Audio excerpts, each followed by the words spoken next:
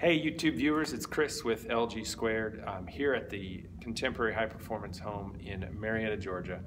And this video is about the framing of the structure. It is 12 inches on center. A lot of questions out there about why we're using 12 inches as opposed to the standard 16 or even 24 inches on center, which uh, might be used with advanced framing techniques to allow for more insulation in the cavities.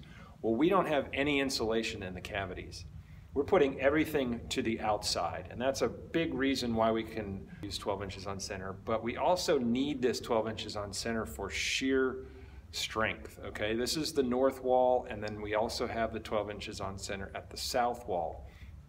Our structural engineer, Keystone Structural Engineering, uh, Brendan Crowley, always designs our structures to, to exceed the building code. It's what we, what we ask for because as you, as you know, building code is a minimum that you can build to, and when you're building high performance or when you're building long-term durable homes, where it's appropriate, you do exceed the code to make sure we're not building just a 20-year home.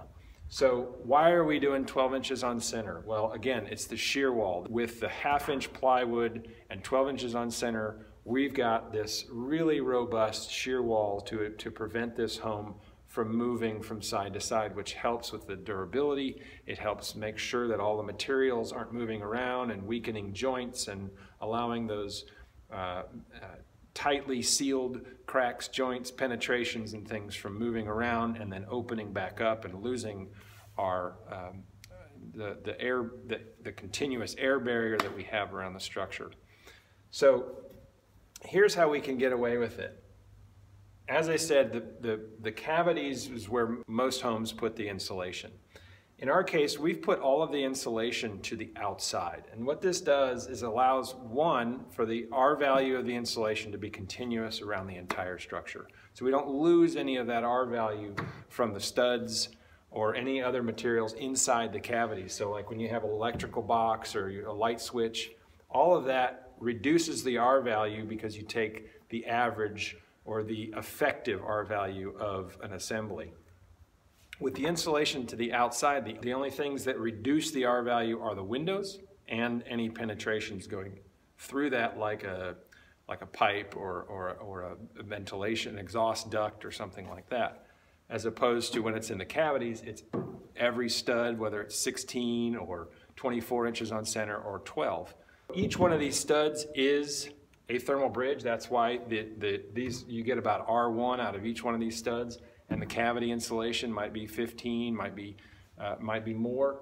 And if you take 15 and you average out the R1 and then all of your electrical boxes and any other penetrations, you end up with a much lower R value, uh, somewhere in the R11, R12, maybe even lower, depending on how much framing and how much you have in the wall.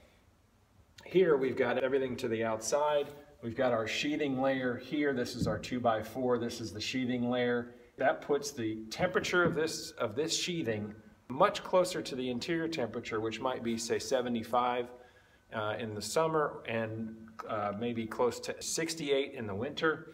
And you're going to lose maybe about a degree uh, across that sheathing layer at most, depending on how much insulation. Here we have four inches on the walls, six inches on the roof. That insulation follows it all the way down underneath the slab and about two to four feet into underneath the, underneath that slab. This four inches of insulation does a lot of things for us. We, well, it's the insulation for the building, but it serves as a thermal break for these, these studs, so we're not losing all that heat through here. We're getting a continuous four inches around the entire building.